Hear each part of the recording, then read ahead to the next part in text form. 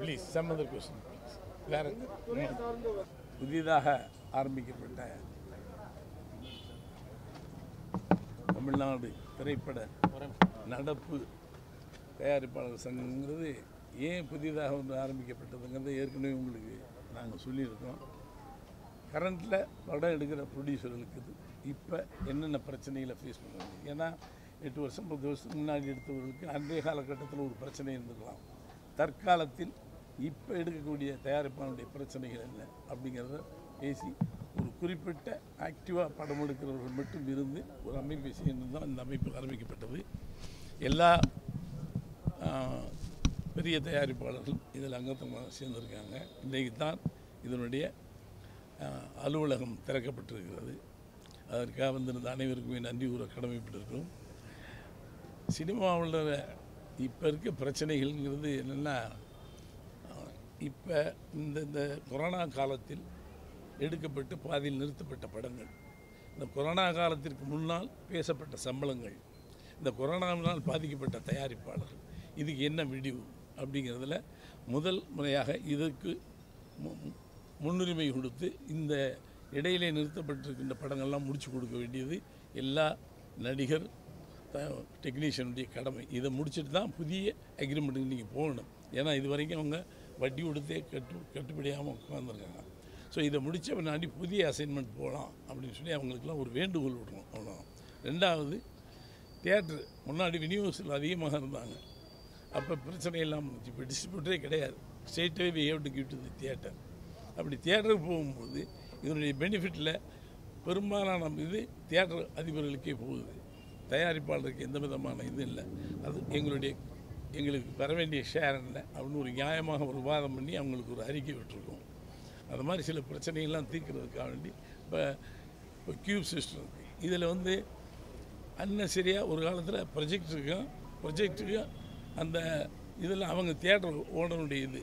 நம்ம அவங்களுக்கு எதுவும் கொடுத்ததில்லை. இப்போ அங்கே project பண்ணணும்னாலே we have to pay to the Qube அதில் என்னென்ன வரைமுறை இருக்குன்னு அதெல்லாம் பகுத்து கொள்ளணும் பல பிரச்சனைகளை பேசி தீர்ப்பதற்காகவும் ஒரு சுமூகமான முறையில் இந்த தயாரிப்பு துறை போக வேண்டும் என்பதற்காக ஆரம்பிக்கப்பட்ட சங்கம். அதில் மிஸ்டர் இந்த அலுவலகத்துக்கு நம்ம முதல்ல நான் நன்றி சொல்ல வேண்டியது யூடிவி தனஞ்சயனுக்கு தான் என இந்த அலுவலகத்தை மிக சிறப்பாக ஒரு ஒரு அலுவலகம் எப்படி இருக்க வேண்டும் என்பதற்கு எடுத்துக்காட்டாக மிக அற்புதமாக செய்கிறார் உடன் இந்த இசி மெம்பர்ஸ் நிர்வாகிகள் அத்தனை பேரும் இருந்து இந்த ஒரே போட்டில் ஒரு திசை நோக்கி கருத்து வேறுபாடு இல்லாமல் சென்று சினிமா துறைக்கு மேலும் வரக்கூடிய புதிய தயாரிப்பாளர்களுக்கும் ஒரு முன்னுதாரணமாக திகழ ஒரு நடவடிக்கை எடுக்கப்பட்டிருக்கு. ஸோ வந்த அனைவருக்குமே நன்றி ம், வேற என்ன சொல்றது? நிறைய கோரிக்கைகளை நீங்க வச்சிருக்கீங்க. இப்போ வந்து திரையரங்கு உரிமையாளர் சங்கத்துக்கு பல கோரிக்கைகளை முன் வச்சு கடிதம் எழுதியிருந்தீங்க. அந்த கடிதத்துக்கு வந்து பதில் கூறும் விதமா வந்து திருப்பூர் சுப்பிரமணியம் தெரிவிச்சிருந்தாரு. இது இது அவங்களுக்கு வைக்கிற கோரிக்கை இல்லை. இது அடாவடித்தனமா இருக்கு. ஸோ உங்ககிட்ட பேச்சுவார்த்தைக்கெல்லாம் வாய்ப்பே இல்லை அப்படின்ற மாதிரி சொல்லியிருக்காரு சார். பேச்சுவார்த்தைக்கு வாய்ப்பு இல்லைன்னு நம்ம என்ன பண்ண முடியும்? There is there is lot of other ways நிறைய வழிகள் இருக்கு. இல்லைன்னு பார்த்தேன். சார் திரைப்படம் திரைக்கு போகணும்னு தான் நாங்கள் ஆசைப்படுறோம். நீங்கள் ரொம்ப அடாவடித்தனமான சில விஷயங்களை பண்ணும் பொழுது நாங்கள் திசை எங்களுக்கு வேறு வேறு திசைகள் இருக்கிறது வேறு வேறு வழிகள் இருக்கிறது. தொழில் சுதந்திரம் என்பது எனக்கு உண்டு. இந்த பொருளை இவனாருக்கு தான் விற்கணும்னு சொல்ல யாருக்கும் உரிமை கிடையாது. என் பொருளை யாருக்கு? முத்துசாமிக்கு கொடுப்பேன் சின்னசாமிக்கு கொடுப்பேன் ராமசாமிக்கு கொடுப்பேன். இன்னாருக்கு தான் விநியோகிக்கணும்னு சொல்ல இது யாருக்கும் உரிமை கிடையாது. Product is my product it's my right to sell அதுதான் எங்களுடையது நான் வாங்கலையா போயிட்டே இருங்க. வாங்குறோம் வந்து வாங்குவோம் இல்லையா எங்களுக்கு தெரியும் ஹவு டு செல் இட் நாங்கள் நாங்கள் உங்க நாங்கள் உங்களுக்கு நீங்கள் வந்து கல்யாணம் மண்டபம் வச்சுக்கோ மாநாடு நடத்திங்க நாங்கள் அது உங்கள் கட்டடம். எங்கள் ப்ராடக்ட்டில் எங்கள் ப்ராடக்ட் உள்ளே வரும்போது தான் எங்கள் ப்ராடக்டால் அந்த பில்டிங் பெருமை அடையுது எங்கள் ப்ராடக்டை நோக்கி தான் ஆடியன்ஸ் சொல்ல வர்றான் என்னுடைய ப்ராடக்ட்டு தான் அங்கே இருக்குது செல்லிங் பாயிண்ட் பூரா. ஸோ என் ப்ராடக்ட் இல்லை. நீங்கள் என்ன வச்சு இஷ்டம் இப்படி பண்ணிங்க அது ஒரு சில்வர் பில்டிங் எங்கள் ப்ராடக்ட் நாங்கள் யாருக்கு வேணாலும் கொடுப்போம். சண்டை என்ன கத்தி எடுத்தா சண்டை போட்டுருக்கோம் எங்கள் கோரிக்கைகளை வேண்டுகோள்களை வைத்திருக்கிறோம். பிடிக்கும் பிடிக்காது என்பது உங்கள் அபிப்பிராயம். நீங்க வந்து இந்த ஓடிடியை வந்து முன்னெடுத்து போனோம் அப்படின்றது தான் இதை காட்டுது அப்படின்ற மாதிரி பரவலா பேசப்படுது சார். அது உண்மையா? ஓடிடிக்கு முக்கியத்துவம் கொடுக்கறதுக்காக தான் திரையரங்குகள்ல நீங்க இவ்வளவு டிமாண்ட் வைக்கிறீங்கன்னு இல்லை நீங்கள் திரையரங்கில் நாங்கள் வச்சுருக்க டிமாண்டை ஒத்துக்கிட்டீங்கன்னா நாங்கள் இன்னொரு வழிக்கு போக மாட்டோம். இந்த வழிக்கு வரோம். வாங்க. இல்லைன்னா முழுமையா ஓடிடிக்கு போறதுக்கும் தயாரா இருக்கீங்க. ஆமாம் முழுமையா முழுமையா இல்லை முழுமையா போக மாட்டோம். ஓடிடி இல்லை இந்த இன்னும் விஞ்ஞானத்தில் இன்னொன்று வரும் சார். விஞ்ஞான வளர்ச்சியில் இன்னும் ஒரு வழி கூட பிறகும் இந்த சினிமாவுக்கு. முதல்ல டிவிக்கே யோசித்தோம். டிவிக்கு வரலாமா? வேணாமா? ஐயோன்னு டிவியில் வரலையா? ஒவ்வொரு காலகட்டத்திற்கும் ஒரு சின்ன பிரச்சனைகள் வரும். அதை தாண்டி போகிறது தான். இன்றைக்கி ஓடிடி வந்திருக்கு. நாளைக்கு ஓடிடியை கடையில் இன்னொரு வேறு ஒரு இது வரலாம். இதை காட்டில் அதிகமான ப்ராஃபிட் ப்ரொடியூசருக்கு வருதுன்னு அங்கே போயிடுவோம். வியாபாரம் பண்ணுவதே அதை ஒரு முதலீட்டிலேருந்து எடுத்து கொஞ்சம் கணிசமான இதுக்கு தானே லாபத்துக்கு தான் நஷ்டத்துக்கு அப்படி எடுக்க முடியும். கொரோனா முன்வைக்க காலத்துல தேட்டருக்கு வரது ரசிகர்கள் வருவாங்களான்ற ஒரு எதிர்பார்ப்பு இருந்துட்டு இருக்கு ஸோ இப்போ இந்த மாதிரி சுச்சுவேஷன் நீங்க அவங்கள கார்னர் பண்ற மாதிரி இருக்குன்ற சொல்றாங்களே இது எப்படி? தியேட்டருக்கு வர்றதுக்கு உங்களுக்கே டவுட்டாக இருக்குல்ல? அங்கே கொண்டு போய் எங்கள் படத்தை போட்டு எப்படி நாங்கள் அவுட் ஆக முடியும்? தியேட்டருக்கு வர்றதுக்கு உனக்கே டவுட்டாக இருக்குது எங்கள் ப்ராடக்ட்டையும் கொண்டு போயிட்டு இதையும் அழுக விட்டு நாங்கள் உட்காந்துருக்கிறதா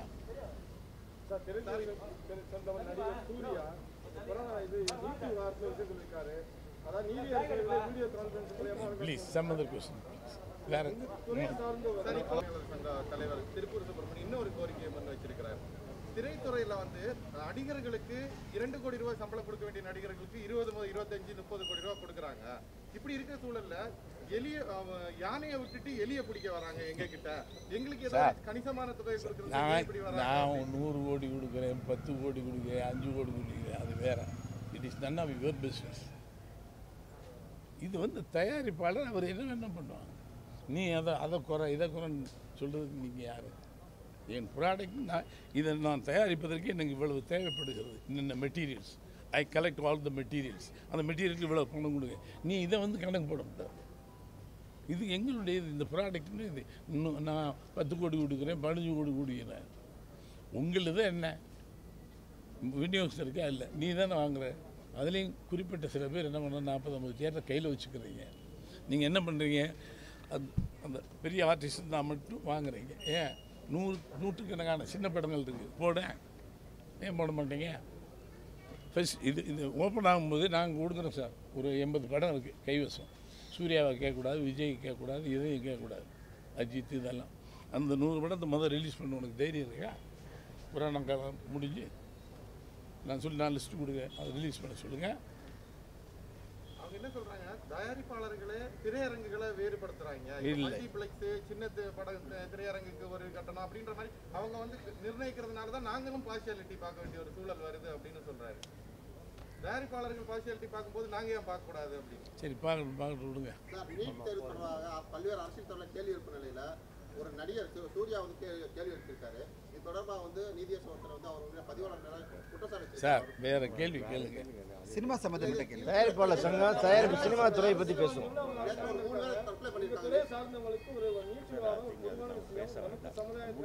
தயாரிப்பாளர் சங்கம் துவங்கி இருக்கு அது சம்மந்தமாக பேசுனா நீங்கள் முதல் நாள் நல்ல விஷயம் நல்லதாக பேசுவோம்.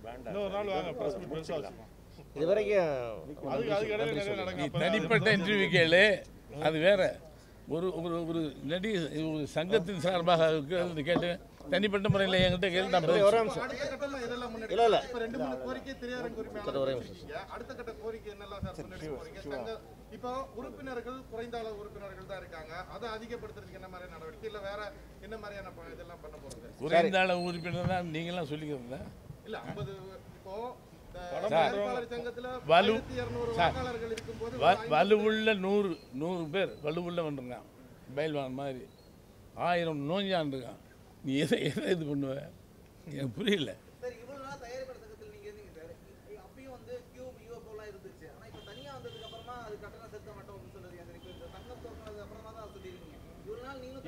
தான் விசால் இருக்கும்போது தொடங்கப்பட்டது ரொம்ப நாளா சொல்ற demand தாங்க இது எல்லாமே. நானும் சார் பீரியட்லேயும் வந்து வள்ளூர் குளத்தில் வந்து உண்ணாவிரதம் இருந்தாங்க. இது ரொம்ப நாள் பிரச்சனை இன்னைக்கு பிரச்சனை இல்லை. இது ஒரு நாலு வருஷம் பிரச்சனை. ரிலீஸ் ஆகாது அப்படின்ற ஒரு பாலிமர் அப்போ எடுத்தது தானே? அப்போ எடுத்தது தானே? இது நாலு வருஷத்துக்கு முன்னாடி எடுத்த முடிவு தான் இது ஒவ்வொரு தானா நம்பரில் வந்து வல்லூர் கூடத்தில் உண்ணாவிரதம் இருந்தாங்க. அப்போ விசால் பேரில் வந்து அந்த நடவடிக்கை எடுத்து ரெண்டு மாதம் சைக்கே நடந்தது. இப்போ அது தொடர்ந்துருக்கு அவ்வளோதான் இது இன்னைக்கு புதுசாக இப்போ வந்தோன்னே எடுக்கல இது. சார் time கரண்ட்ல படம் பண்ணுறவங்களோட பிரச்சனை என்னென்னு ஹேண்டில் பண்ணுறது தான் இந்த சங்கமே துவங்கப்பட்டிருக்குது. அது வந்து டேரக்டர் வந்து லீட் பண்ணி கொண்டு வந்து எல்லாத்துக்கும் நல்லபடியாக பண்ண போகிறாங்க எங்களுடைய டிமாண்ட் விபிஎஃப் ஆகட்டும் தியேட்டருக்காரங்க வச்சுருக்க டிமாண்டை பற்றி எங்களுடைய எஸ்ஆர் பிரபு ஒரு டீட்டெயில் லெட்டர் கொடுத்துருக்காரு. இது வரைக்கும் அதுக்கு அவங்கள்ட்ட முறையான பதில் வரல. அந்த பதிலாம் வந்ததுக்கப்புறம் முறையான பேச்சுவார்த்தை நடத்தி சுமூகமாக கொண்டு போகிறது தான் நாங்களும் விரும்புகிறோம் பேச்சுவார்த்தைக்கு வரமாட்டேன்னு சொன்னால் நம்ம ஒன்றும் செய்ய முடியாது. பேச்சுவார்த்தைக்கு வரணும்னு தான் நாங்கள் விரும்புகிறோம் இதை சுமூகமாக கொண்டு போகிறதுக்கு முயற்சி பண்ணிட்டுருக்கோம் நிச்சயமாக எங்களுடைய டிமாண்ட்ஸ் எல்லாம் இது இருக்குது. இதுக்கும் ஓடிடிக்கெலாம் சம்மந்தமே இல்லை. இது ஓடிடி வர்றதுக்கு முன்னாடி இருந்தே ஆல்ரெடி எக்ஸிஸ்டிங் இருக்கிற ப்ராப்ளம் தான் நம்ம சொல்லிட்டு இருக்கோம். ஓடிடி என்பது புதுசாக வந்திருக்கு. ஓடிடியில் கொடுப்பது எங்களது உரிமைன்றது எங்களுக்கு எந்த எந்த மாற்றமே கிடையாது. எல்லா படமே ஓடிடி கொடுக்கணுன்றது எங்களுடைய நிலை இல்லை. கொடுக்கக்கூடிய படங்கள் நீங்கள் வந்து சின்ன படம் சின்ன சின்ன படங்களுக்கு தேட்டரில் முன்னுரிமையே தர்றதில்லை. எந்த சின்ன படத்தை நீங்கள் போடுறீங்க?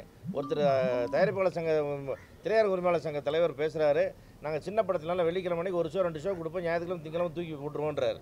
இப்படித்தான் பல படங்களுடைய பல கலைஞருடைய வாழ்க்கை ஒரு தயாரிப்பாளர் வாழ்க்கை பறிவு போயிட்டுருக்கு அது இருக்கக்கூடாது. எல்லாத்துக்கும் ஒரே மாதிரி ட்ரீட்மெண்ட் நடக்கணும். எல்லாருக்கும் திரையரங்குகள் கிடைக்கணுன்றக்கான டிமாண்ட்ஸ் தான் இப்போ நம்ம கொண்டு வந்துட்டுருக்கோம். அதை நோக்கி நல்லபடியாக போயிட்டுருக்கோம். So with all your supports நாங்கள் நிறையா செய்வோம். ஃபியூச்சர் நிறைய ப்ராஜெக்ட்ஸோடு உங்களை மீட் பண்ணுறோம் தேங்க்யூ ஆல் சார், உங்க தாய் தாய் தயாரிப்பாளர் சங்கத்துல வந்து தேர்தல் நடக்கும் காலகட்டத்துல இல்ல அங்க வந்து உங்களுடைய நிலைப்பாடு எப்படி இருக்கு சார் தயாரிப்பாளர் சங்கத்தில் தயாரிப்பாளர் சங்கத்தில் இருக்கிற எல்லாரும் இங்கே மெம்பராக இருக்கிறோம் இங்கே இருக்கிறவங்க அங்கே இருக்கலாம் அங்கே இருக்கிறவங்க இங்கே இருக்கலாம். எந்த விதமான குழப்பம் அதில் கிடையாது. அதே மாதிரி இங்கே நிர்வாகத்தில் இருக்கிறவங்க அங்கே போட்டியிட மாட்டோம். ப்ரொடியூசர் கில்ட் இல்லை. அது மாதிரி இங்கே நிர்வாகத்தில் இருக்கிறவங்க அங்கே போட்டியிட மாட்டோம். அது ஒரு பாலிசியாக வச்சுருக்கோம். மற்றபடி அந்த அந்த சங்கத்தோட வளர்ச்சியிலையும் அந்த மெம்பர்ஸோட வளர்ச்சியிலையும் அவங்க பிரச்சனை நாங்களும் அக்கறை எடுத்துக்குவோம். யாரும் அதை விட்டு வெளியெல்லாம் வரல. எந்த அசோசியேஷன் யார் வேணால் இருக்கலாம் இல்லாமல் இருக்கலாம். அங்கே இருந்தால் இருக்கக்கூடாது இங்கே இருந்தால் இருக்கக்கூடாதுன்ற கண்டிஷன் எந்த அசோசியேஷன்லையும் இல்லை. நாங்களும் அந்த டிமாண்டே இல்லை. அது தாய் சங்கம் தாய் சங்கமாகவே இருக்கும். அதில் எந்த மாற்றமும் இல்லை. எங்கள் மரியாதை மண்ணும் அதை விட்டு விலகாது. மூத்த தயாரிப்பாளர்களே ஒரு கருத்தை சொல்கிறாங்க நாங்கள் வந்து அந்த காலத்தில் படம் எடுத்தோம் இவ்வளோ பண்ணோம் இன்றைக்கி வந்து நிலையில போயிட்டோம். எங்களுக்கு போக முடியாத ஒரு சூழல் இப்படி இருக்கும்போது எங்களை புறக்கணிச்சுட்டு நடப்பு தயாரிப்பாளர் சங்கம்னு சொல்லும்போது எங்களை எல்லாம் வந்து பிரிக்கக்கூடிய எங்களை வேதனைப்படுத்தக்கூடிய ஒரு செயலா இருக்கு அப்படின்ற மாதிரி அவங்க கருத்து தெரிவிக்கிறாங்க. ஒன்று உள்ளே வந்தீங்க. எவ்வளோ சீனியர் இந்த- இந்த சினிமா துறையுடைய மூத்து ஆரம்ப கால பெரும்பெரும் நாகிரெட்டி இருந்ததெல்லாம் பார்த்தீங்கல்ல? அதே மாதிரி இன்னைக்கு சரவண சார் இருக்கார். இவங்களுக்கெல்லாம் கொடுக்குற மரியாதையை நாங்கள் கொடுப்போம். அவங்க ஒரு இது வச்சு கொடுப்போம். அவங்க பத்து வருஷம் படம் எடுக்கலை. அஞ்சு வருஷம் பத்து வருஷம் படம் எடுக்கலை. இது படம் எடுக்கிறது எங்களுக்கு சில பிரச்சனைகள் இருக்குது அதை சொல்லும்போது இது அப்படியே கேட்க ஆரம்பிப்பாங்க. அதனால் நாங்கள் ஆக்டிவ் ப்ரொடியூசர் மட்டும் இருந்து அவங்களுக்கு கொடுக்குற மரியாதையை நாங்கள் குறைச்சிக்கிறதே கிடையாது. எங்கள் முன்னோடிகள் அவருக்கான மரியாதையை நாங்கள் குறைக்கல. இப்போ படம் எடுக்கும்போது பல பிரச்சனை இருக்குது உங்களுக்கு தெரியல நீங்கள் அஞ்சு வருஷத்துக்கு முன்னாடி படம் எடுத்திருக்கீங்க பத்து வருஷத்துக்கு முன்னாடி படம் எடுத்தீங்க. அந்த பிரச்சனைகள் கண்டெம்பரரியாக we are facing this problem சொல்கிறதுக்கு தான் நாங்கள் இங்கே கூடியிருக்கோம். இதுக்கு தான் இந்த அமைப்பு.